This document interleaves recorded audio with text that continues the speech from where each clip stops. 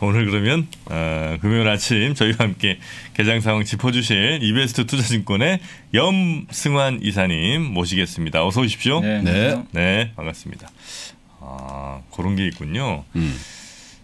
도- 알맹이를 먹고 거기에다가 소주를 부어서 그걸 잔 삼아서 드신다고요? 빨, 빨그스름한 멍게가 있잖아. 그건 대부분 양식이거든. 네. 근데 이제 돌멍게는 거무튀튀해. 음. 그리고 크기가 한 두 배 반 정도 된다고. 아 그래요? 부산에 가면 이제 시원 소주, 어? 네. 대선 시원 소주. 자 그러면 어, 우리 염승환 이사님과 함께 이제 또 증시 오늘 한번 잘 지켜봐야 되는데 어, 오늘은 뭐 반대 매매 이렇게 뭐 별로 없죠? 네, 오늘은 일단 왜냐면 왜 이제 어제 반대매 지수가 나오면 사보려고 또 아까 또 하나 배웠구나. 아, 반대매 반대 매매가 따라서. 기회, 기회라니까. 왜냐면 이제 어제 증시가 급반등을 해가지고 네. 예, 오늘 오전에는 일단 정상적으로 스타트를 좀할 것 같습니다. 네. 아 어제 이제 가슴 졸이면서 봤는데 후장으로 갈수록 더 올라가지고 네, 그다음에 다행히. 다행이에요. 네. 음. 자 그리고 방금 이제 삼성전자 실적 발표가 나왔어요. 나왔어요? 네, 그 음. 예상치에 거의 부합했고요. 네. 15.7조 원 영업이익 예상을 어, 했는데 16조는 안 됐구나. 네, 15.8조 나왔습니다. 그래서 음, 15.8. 폭상에 예, 음. 있는데 이제 거의 부합을 했고 이제 주가 반응이 좀 중요할 것 같습니다. 일단은 지금 현재 시초가는 조금 오르면서 시작을 할것 같은데 음. 일단 좀 출발은 지켜봐야 될 것 같고요. 뭐 네. surprise는 없었던 것 같아요. 네, 거의 그냥 비슷한 정도로 일단 실적을 나왔고 LG전자도 오늘 원래 실적 발표를 알고 있었는데 아까 보니까 12일로 좀 연기가 된 것 같더라고요. 그래서 아마 LG전자는 다음 주 월요일에 아, 다음 주 화요일이죠. 음. 월요일 쉬니까 그때만 실적 발표할 것 같습니다. 자 그리고 또 뭐 일정이 더 있습니까? 예, 오늘 그리고 미국에 이제 가장 중요한 게 그 고용 지표. 고용 지표 나오죠. 예, 여기서 이제 어떤 데이터 나올지 음. 좀 지켜보시고 그다음 중국 증시가 오늘부터 이제 아까 말씀하신 개장하니까 아마 오늘 중국이 또 열리고 나서가 중요할 것 같아요. 한국 증시가 아마 미국보다는 음. 중국에 좀 연동될 가능성이 있습니다. 예, 거의 한 일주일 만에 지금 개장을 하니까요. 네. 지켜보시고 그다음에 이제 10월 10일 날은 일요일 날은 이제 더불어민주당 대선 후보가 좀 결정 아, 결정 나는군요. 예, 최종적으로 아마 결정 일요일 날? 예. 음. 음. 그때 아마 결정이 될 아, 것으로 근데 좀그 예상. 저 국힘당은 굉장히 저 이렇게 뭐래 혼전 양상으로 가더라. 일- 원사 저 더불어민주당 약간 one side 하잖아요. 네, 네. 맞아요. 국힘당은 보니까 홍 홍반장 말고 뭐라 그랬지? 음? 홍준표, 네. 홍준표 의원이 꽤 많이 쫓아왔더라고. 음, 아 그런가요? 그 나왔었 안 나왔었나 매불쇼? 홍 전 대표는 안 나왔습니다. 음. 네. 자 그런 일정들이 이제 이번 주에 있고요. 네. 그러면 레포트를 한두 개 정도 보고 네, 넘어갈까요? 오늘 이제 고용 지표에서 좀 보실 거는 그 이은태 연구원님이 어제 좀 적어준 자료인데 일단 지금 가장 큰 문제가 인플레잖아요. 인플레, 그러니까 물가 상승인데 여기서 제일 중요한 게 이제 공급 병목 현상이 해소될 수 있느냐. 제일 문제가 이거니까요. 그래서 공급 병목의 가장 큰 문제는 사실 다른 것보다 미국의 노동력이 좀 부족하다. 국힘당이라고 했는데 국짐으로 듣는 사람들은 뭐야? 아, 분명히 나 발음 사과하세요. 아니 국힘당으로 했지 내가 국민의힘 네, 좀더 음. 정확한 발음으로 부탁드리겠습니다. 국힘당 네. 그렇게 들리시나 봐. 네. 자, 그래서 그 미국의 이제 노동 노동력도 지금 공급 병목 현상이 지금 발생했다고 하더라고요. 노동력이 되게 부족한가 봐요. 그래서 음. 컨테이너선 가격 급등한 것도 노동력이 부족해서라는 이제 얘기가 있는데 그러니까 미국 항구에서 이제 하역이 정체되는 이유도 그것 때문이라고 하거든요. 음, 그래서 오늘 이제 발표되는 지표 중에 고용 지표에서도 역시 그 부분을 좀 봐야 될 것 같아요. 취업자 수가 얼마나 증가했느냐. 음. 이게 예상보다 좀 잘 나오면 긍정적이고 임금은 좀 떨어지는 게 좋대요. 주당 평균 임금이 음. 떨어져야 또 인플레가 완화되니까. 네. 그래서 오늘 데이터를 보실 때는 그쪽에 좀 포커스를 맞추셔가지고 한번 보시면 좀 좋을 것 같습니다. 음. 이거에 따른 미국 증시도 움직임이 다음 주에 우리나라 시장에 영향을 주니까 네. 계속 좀 체크는 해 보셔야 될 것 같습니다. 네. 자. 그리고 업종으로는 이제 정유업종이 어제 좀 빠지긴 했는데 한국투자증권의 이제 최고원 애널리스트는 좀 기회다 계속 적어주고 있고요. 정제 마진 상승이 기대 이상이고 에너지 대란에 따른 이제 수혜도 굉장히 좀 좋은 상황이다. 그래서 비중 확대 의견이고 또 거기에 reopening 수혜 업종이잖아요. 이제 그 우리가 밖으로 나갈 때 예. 이렇게 운송 수요 수단이 좀 이제 늘어날 수가 있기 때문에 reopening 수혜주로 좀 구조적으로 좋아질 수 있다. 그리고 미국 내 원유 재고 증가라든가 러시아 천연가스 공급 확대로 어제는 좀 많이 흔들렸죠. 이 원자재 가격이 그렇지만 단기 과열 양상이 진정되는 과정 정도다 이렇게 좀 얘기를 네. 해줬고요. 정제 마진이 3년간 평균치를 좀 상회하고 있어서 긍정적인 좀 의견을 피력을 해줬습니다. 그래서 계속 좀 정유업종은 좀 안 좋은 좀 최근에 어려운 장세, 뭐 물가 올라가고 긴축 리스크가 좀 커진 상황에서 좀 대안주가 될 수 있다 이런 내용이니까 정유업종에 대해서도 좀 긍정적인 시각으로 좀 보고 있다는 거 좀 참고해 주시면 음. 좀 좋을 것 같습니다. 자, 그러면 일단 나머지 이름부터 네. 좀더 이따가 살펴보도록 하고요. 네. 57분 약 한 2분 반 정도 남았습니다. 일단 오늘 출발은 되게 좋을 것 같아요. 지금 예상 지수가 네. 27포인트 정도. 어제 어, 그래요? 또 미국장이 좀 올랐잖아요. 네. 나스닥이 한1% 올라서 현재 국내 증시는 27포인트, 2,986 정도에서 시작을 할 걸로 지금 전망은 나오고 있고요. 그렇게 되면 이제 3천선 근처에서 지금 출발을 할 것으로 보이고 코스닥도 지금 8포인트 정도, 예, 961포인트 정도에서 아마 시작을 할 것으로 좀 보입니다. 그래서 양시장 모두 다 지금 분위기면 굉장히 좋은 출발을 일단 보일 것 같고 삼성전자가 오늘 이제 장중엔 좀 지켜보셔야 되겠지만 현재까지는 뭐 출발은 좋을 것 같습니다. 0.8% 정도 일단 시장 기대 거의 좀 이제 부합을 하다 보니까 시장에선 좀 긍정적으로 보고 있는 것 같고요. SK하이닉스도 0.4% 정도 출발할 것 같고 뭐 셀트리온 또 카카오 뭐 LG화학, 삼성 SDI 같은 이제 대표적인 그 성장 기업들이 오늘 지금 호가 상황이 되게 좋습니다. 한 2% 음. 정도 반등을 하면서 지금 일단 호가는 좀 나오고 있습니다. 그나마 조금 이제 밀리면서 시작할 기업은 뭐 크래프톤 정도가 좀 마이너스 1% 정도 크래프톤이요. 네, 음. 마이너스 1% 정도 일단 밀릴 것 같고 은행주가 조금 약간 호가가 안 좋고요. 뭐 그 정도 제외하면 대부분 지금 출발들은 다 괜찮을 것 같습니다. 근데 네이버 카카오가 어제 많이 올랐잖아요. 네, 많이 근데 올랐어요. 그저께도 네이버 카카오가 땡땡했잖아요. 버텼죠. 음. 그 네. 왜왜 무슨 국회에서 맨날 연일 때리고 그러던데 왜 그런 거예요? 근데 일단 먼저 두들겨 맞은 먼저 데다가 맞아서? 예. 그리고 이제 어제 같은 경우 먼저 맞고 반도체도 먼저 맞았는데 미국의 또 big tech 기업도 올랐고 네. 저는 또 그 그것도 하나 영향을 줬던 것 같아요. 그 카카오가 김범 소장이 네. 국감에서 어쨌든 머리를 엄청 숙였더라고요. 야, 음. 그것도 좋게 본것 같아요. 하기는 예. 예? 죄송합니다. 예, 제가 아예 그냥 절대 안 합니다. 예, 막. 절대 안 합니다. 확실히 이게 웬- 옛날에 네. 옛날에 어떤 벤처 기업가 가- 오래는데 안 나가고 뭐, 음. 뭐 여하튼 그래가지고 좀, 좀 그래고 그랬었어. 음. 어? 근데 아예 그냥 머리를 숙여버렸어요. 음. 예. 근데 그게 뭐 의도가 어땠는지 모르겠지만 주가엔 좋게 작용한 것 같아요. 음, 이제 그래요? 불확실성 아예 해소로 좀 본 것 같습니다. 불확실성에서 고개 숙이는 게. 아니 왜냐하면 이제 정부에서 자꾸 제동을 거는데 네, 네, 네. 카카오가 그거 무시하고 또 달려버리면 음. 주가에 또 안 좋을 수도 뭐 있는 건데 그렇겠죠. 예, 일단은 좀 커뮤니케이션 하겠다 이런 아. 의도로 좀 시장이 본 것 같아요. 음. 예. 그래서 좋았던 것 같습니다. 네. 예. 자 이제 시작할 텐데 지금 삼성전자가 한 1% 정도 출발할 것 같아요. 지금 예상 호가 그래서 코스피도 출발이 좀 괜찮은 것으로 좀 나오고 있고요. 일단 시장은 출 어제 미국의 흐름을 좀 따라서 이틀째 지금 반등세로 좋은 출발을 좀 보여주고 있습니다. 현재 삼성 SDI가 한 1.5%, 삼성 바이오로직스도 한 1% 정도. 대부분 이제 시총 상위 기업들 다 좋은 모습이고 현대모비스가 오늘 2.5% 정도 올랐고요. SK 바이오사이언스가 한 3% 정도 좋은 출발 좀 보여주고 있습니다. 그리고 현대 오토에버가 이제 3% 정도 오르는데 아마 어제 그 GM이 오늘 좀 많이 올랐잖아요. 그래서 네. 자율주행에서 매출을 좀 올릴 수 있을 것 같다는 이제 발표가 나왔는데 아마 현대 오토웨브가 이제 소프트웨어 기업이다 보니까 영향을 좀 받는 것 같습니다. 그리고 최근에 많이 빠졌던 SKC가 한 3% 정도 올랐고 음. LG 이노텍도 지금 2.8% 정도 오르면서 오늘은 대부분 이게 시총 상위 기업들 보면은 일단 성장주가 조금 네, 위쪽에 좀 포진해 있다 라고 보시면 되겠고요. 빠지는 기업은 뭐 두산 밥켓 뭐 그리고 금융주 KB금융 이런 기업들이 일부 좀 빠지고 있고 일부 음식료 기업들이 조금 조정을 좀 받고 있습니다.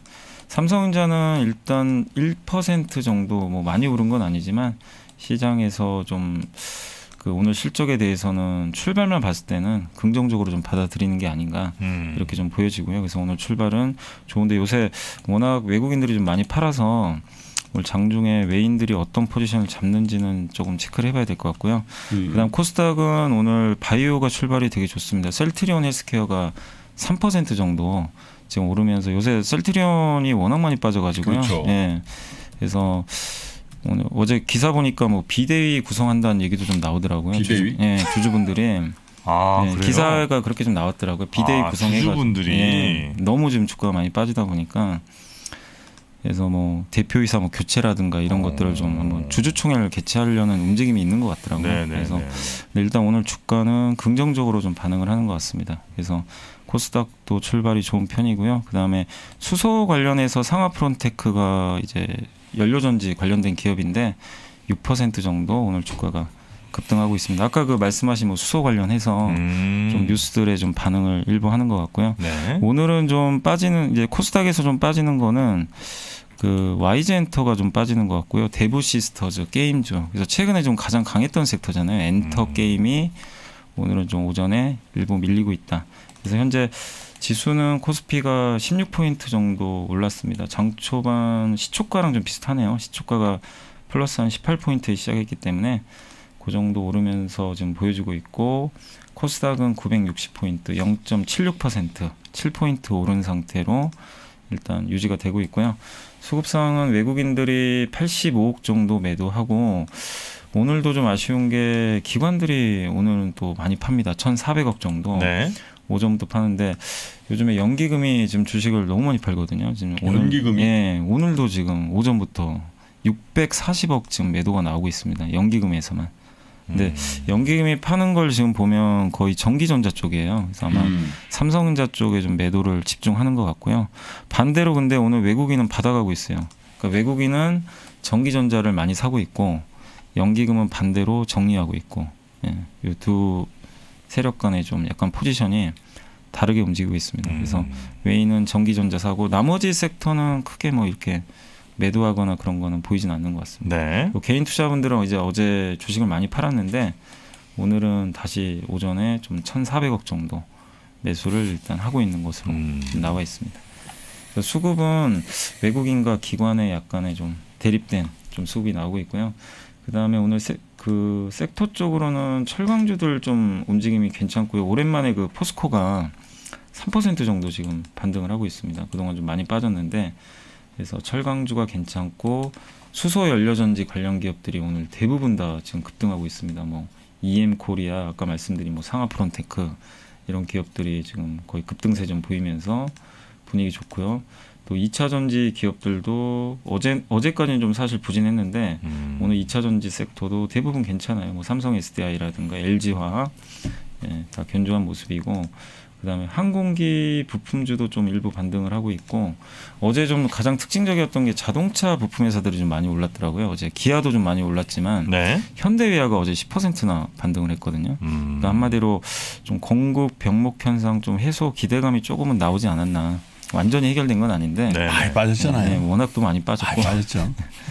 그래서 어제는 좀 모처럼 예, 자동차주들이 좀 좋았는데 오늘도 괜찮아요. 오늘도 음. 분위기는 계속 이어지고 있습니다. 그리고 뭐 석유화학 기업들도 괜찮은 모습이고 아까 철강주 괜찮고 그러니까 경기 민감주, 성장주 다 고르게 반등해주고 있는 게 특징적인 것 같습니다. 그리고 시장을 이제 방어했던 업종들이 은행이나 항공 이런 업종들인데 네. 그쪽은 오늘 좀 빠지고 있어요. 아. 음, 그쪽만 일부 빠지고 보험도 좀 빠지는군요. 예.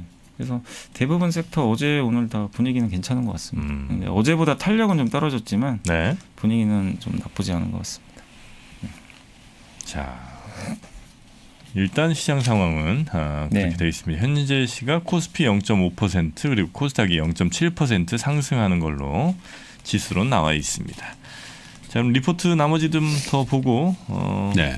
네. 증시도 한번 그 이건 전망을 이제. 한국투자증권의 그 이원식 애널리스트가 반도체 자료인데 일단 지금 말레이시아에 아마 뉴스들 많이 보셨겠지만 반도체 그 후공정 업체들이 되게 많아요. 공장들이 거기 셧다운 돼가지고 자동차 공급이 좀 안 됐던 건데 네. 그게 좀 최근에 좀 개선되고 있대요. 음. 그래서 이쪽 지역 내 반도체 10월 가동률이 원래 50%까지 떨어졌다가 10월 달에 80%까지 좀 회복이 됐다고 합니다. 네. 많이 좀 올라와서 아마 이런 뉴스도 어제 좀 자동차 업종에 좋게 작용을 한 것 같아요. 음. 예. 그리고 파운드리 생산 능력은 계속 좀 늘리겠다라고 TSMC도 언급을 했기 때문에 4분기부터는 좀 반도체 공급 부족 대란도 좀 완화되지 않을까 이렇게 좀 적어줬고요. 그리고 이번 주에 삼성전자 파운드리 포럼이 좀 있었어요. 그래서 음. 이제 기술 공개 뭐 얘기도 좀 이- 했는데 TSMC도 지금 최근에 파운드리 가격 인상을 통보를 했는데 삼성전자도 지금 이제 파운드리 가격 인상을 좀 고려하고 있는 것으로 나와 있고 그래서 아마 뭐 메모리 쪽은 좀 그렇다고 해도 비메모리 쪽은 실적이 좀 좋아질 것으로 기대를 하고 있고요. 지금 음. 현재 2017년도에 파운드리 고객사가 35개였는데 음. 2021년 기준으로 100개 정도까지 늘어났고요. 근데 25년에는 300개 이상으로 늘어날 거라고 파운드리 포럼에서 삼성전자가 직접 언급을 했다라고 합니다. 네. 뭐 그렇게 되면 굉장히 긍정적일 것 같고 삼성전자의 고객인가요? 아니면 전 세계 그냥? 삼성전자 고객이죠. 삼성전자 네, 고객이? 삼성전자 이제 파운드리 맡기는 음. 네, 그 고객이 현재는 100개인데 향후 4년 안에 300개까지 늘리겠다 이렇게 발표를 했고 그다음 연평균 매출 성장률을 24%로 제시를 했는데 네. 전체 파운드리 시장 성장률이 14%니까 음. 일단 삼성은 비메모리 쪽에서는 좀 굉장히 긍정적인 톤을 좀 유지를 하고 있는 것 같습니다. 근데 이게 이제 시장에 먹히느냐가 좀 관건인 것 같아요. 네. 네. 그런 내용이니까 좀 참고해 주시면 될 것 같습니다. 음. 그리고 그 수급 분석 관련해 가지고 KB증권 이제 하이나 애널리스트는 연기금 지금 오늘도 좀 매도를 좀 아쉽긴 한데 보고서에서는 좀 매도 정점 통과 가능성을 한번 봐야 되는 거 아니냐. 네. 좀 매도가 많이 나온 건 사실인데 일단 연기금의 기계적인 순매도 이슈는 좀 해소될 가능성이 높은 게 다들 많이 아시겠지만 국내 주식 비중 상단 목표치가 19.5%거든요. 네. 근데 7월 말 기준으로 19.5%를 이제 터치를 했대요. 음. 예, 원래는 21%까지 갔었는데 내려온 거죠. 그래서 처음으로 2020년 11월 이후로 목표 비중 내로 이제 들어섰는데 이게 최근에 지금 아직 8월, 9월 달 데이터는 안 나왔거든요. 근데 음. 지수가 많이 빠졌잖아요. 네, 12%. 그러면 더 내려갔겠죠. 음. 왜냐하면 자동적으로 비중이 떨어지게 되거든요. 증시가 빠지게 되면. 음. 음. 그래서 아마 19.5%보다 더 많이 감소했을 가능성이 높다. 음. 거기다 연기금은 또 그 상황에서 계속 팔았기 때문에 그래서 기계적으로 이제 매도할 이유는 없어졌다고 보는 것 같아요. 네. 굳이 비중 때문에 조절할 이유는 없어졌다. 그리고 왜 이렇게 팔아요? 근데 그걸 제가 알 수가 없죠. 그러니까 그게 좀 답답하긴 한데, 근데 기계적인 매도 가능성은 일단은 굳이 할 이유가 없어졌다는 거죠. 음. 예, 왜냐하면 비중 내로 지금 들어왔기 때문에. 네. 예. 그래서 좀 아쉽긴 해요. 지금도 굳이 팔 이유는 없는 것 같긴 한데 음. 여전히 좀 매도가 나오는데 근데 2008년 이후로 지금 연기금이 코스피가 10% 정도 빠졌을 때는 대부분 좀 매, 매수를 했다고 합니다. 예. 그점 이제 2008년 이후로는 음. 그래서 연기금이 아마 매수로만 전환한다면 증시는 본격적으로 좀 반등을 할 수는 있는데 음. 다만 추세를 결정하는 거는 외국인이니까 그러니까 바닥을 다지는 수급으로는 연기금이 좀 돌아서야 된다고 보고 있는 것 같아요. 음. 근데 좀 긍정적으로 보고는 있어요. 근데 아직까지 좀 아쉬운 거는 연기금들이 이런 기대랑 좀 반대로 오늘도 700억 정도 좀 매도를 하고 있거든요. 네. 그러니까 이 부분은 아직까지 좀 더 체크는 해봐야 될 것 같습니다. 음. 예. 그런 내용은 좀 참고하시면 되겠고요. 네. 그다음 저희 당사의 전배승 애널리스트가 요새 카카오뱅크 주가가 좀 많이 빠졌잖아요. 많이 빠졌죠. 예, 그래서 그 이유가 뭐냐면 이제 토스뱅크도 최근에 이제 출범을 했는데 정부의 그 가계대출 억제 조치가 인터넷 전문은행으로까지 확산이 좀 되고 있대요. 음. 실제로 그래서 토스뱅크 역시 가계대출 취급 한도가 연말까지 5천억 상한으로 제한이 되고 이미 2천억 정도 썼대요 벌써. 음. 그래서 조기 한도 소진이 불가피할 것으로 좀 전망을 하고 있습니다. 네네네. 그래서 인터넷 전문은행은 기업 여신을 취급을 못하니까 음. 가계대출만 해야 되거든요, 사실상. 네. 그러면 이제 더 타격을 받을 수밖에 없다는 거죠. 음. 예, 지금 정부에서 지금 계속 가계대출을 억제하니까 그래서 토스뱅크뿐만이 아니라 카카오뱅크에도 굉장히 좀 음. 그 부정적인 흐름이 좀 나올 수밖에 없다 이렇게 보시면 되겠고 다섯 개 시중은행도 지금 합산 가계대출 증가율이 4.9%인데 금융당국의 목표치가 5에서 6%래요. 그러니까 시중 은행들도 지금 거의 근접을 해서 여유가 음. 거의 없고 그나마 여유가 있는 게 신한은행 정도래요. 신한은행 정도만 여유가 좀 남아 있다. 이렇게 좀 보시면 좋을 것 같습니다. 그래서 네. 금융 플랫폼에 대한 이제 금소법, 금융소비자 보호법 적용과 마찬가지로 가계대출 규제 조치가 인터넷 은행까지 동일하게 어쨌든 좀 적용이 될 경우 외형 성장을 막을 수가 있기 때문에 음. 최근에 주가 조정은 좀 그런 부분을 반영을 하고 있다. 이렇게 그래서 카카오뱅크 빠지는 거는 좀 이런 이슈가 있다는 거 네. 참고하시면 좀 좋을 것 같습니다.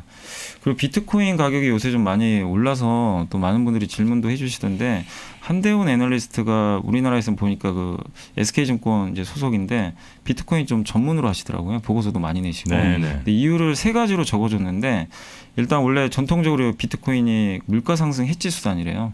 과거에도 그런 경험들이 있었기 때문에 또 최근에 물가 상승률이 높아지면서 음. 해지 수단으로 이제 부상하고 있고 그다음에 중국이 규제를 하지만 제도권 편입 기대감이 좀 높다고 합니다. 그러니까 미국에서는 거래 금지 안 하고 있고 네네. 그다음 최근에 엘살바도르가 법정화폐로 인정했잖아요. 음. 얼마 전에. 그리고 브라질도 자국 내에서 그 비트코인을 거래 수단으로 하는 법안이 하원에 이번에 상정이 됐대요. 표결을 거쳐서. 그래서 만약에 그게 아마 이제 상 그 표결에서 만약에 잘 통과가 되면 음. 브라질도 인정을 하는 거죠. 음. 거래 수단. 어, 엘살바도르하고 브라질은 좀 차이 많이 차이가 나는 거 아니야? 엘살바도르 사람 들으면 좀 기분 안 좋겠지만 예. 듣게 하겠나 뭐. 예. 뭐 규모나 뭐 여러 가지 네. 면에서 예. 차이가 그죠? 만약에 네. 브라질이 이걸 이게 하게 되면은 굉장히 파급력이 또 있을 수도 있겠죠. 음. 그러니까 그런 기대감도 작용을 했던 것 같고요. 또 얼마 전에 조지 소로스도 비트코인 나 투자하고 있다 언급을 어. 했거든요. 예. 그러니까 이런 이제 소로스 너마죠?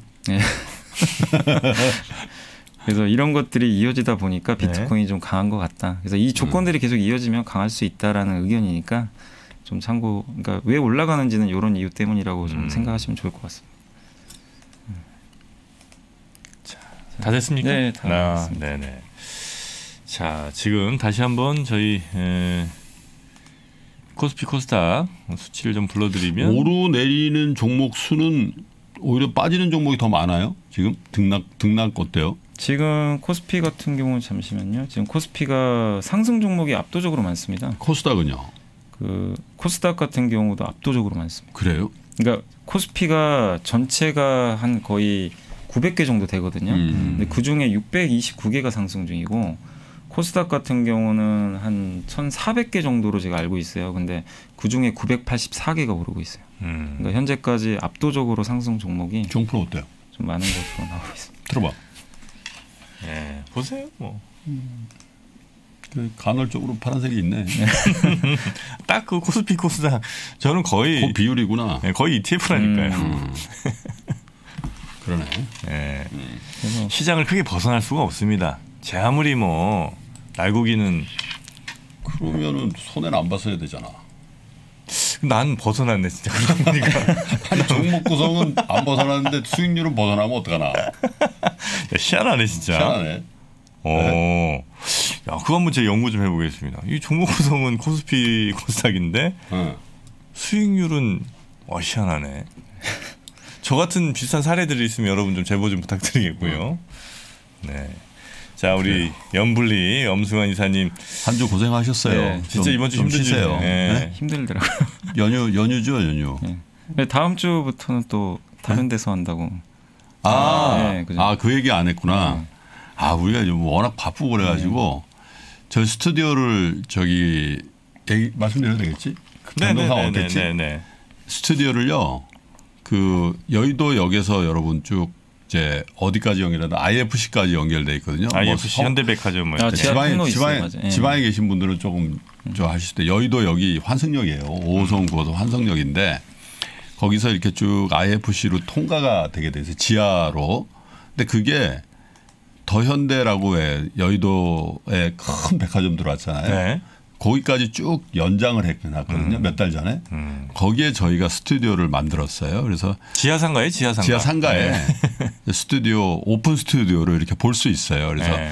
에, 거기서 하니까 뭐 구경 오실 분들은 구경 오십시오. 그리고 거기에 우리가 조그맣게 라운지를 만들어서 에, 여러분 만날 수 있는 공간도 좀 음. 커피. 가능합니까?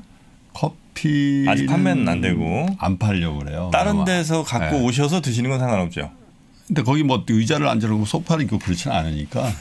예. 그래서 하여튼 그렇게 시도해 보니까 네. 예. 그래서 예, 여기 온도의 문제도 어제도 보니까 되게 힘들어 하시던데 자연스럽게 그렇게 해결이 되고 거긴 추워요 오히려 냉방. 음. 예, 그래서 에, 화요일부터는 거기서 뵙겠습니다. 깜빡하고 일로 오지 마십시오. 네. 다 시 한번 뭐 저희가 주말에 연락 네. 부탁드리도록 네, 네. 하겠습니다. 주말에도 저희가 거기서 녹화 방송을 하거든요. 김시덕 박사님, 최준영 박사님, 또 고영경 고영경 교수. 교수님, 또 차현진 국장님 해서 거기서 하고 월요일 날은 상담소도 거기서 네. 하니까 오며 가며 예, 구경. 오십시오. 네. 네, 네. IFC 놀러 오시는 분들, 네. 더현대 뭐 사러 오시는 분들 네. 지나가면서 한 번씩 오셔서 네. 손 한번 흔들어 주시고 네. 네, 그러시면 좋을 것. 같습니다. 네네. 자, 우리 염승환 이사님 한 주 동안 고생 많으셨고 다음 주 화요일에 뵙겠습니다. 네, 고맙습니다. 감사합니다. 감사합니다. 공부 한번 제대로 해보실까요? 딱 한 달 업종 기초교육과 매매의 기술을 한 번에 배울 수 있는 올인원 패키지 업종 분석으로 기초를 다지고 매매의 기술로 투자의 날개를 달아보세요. 자세한 내용은 페이지 2 공지사항을 확인하세요.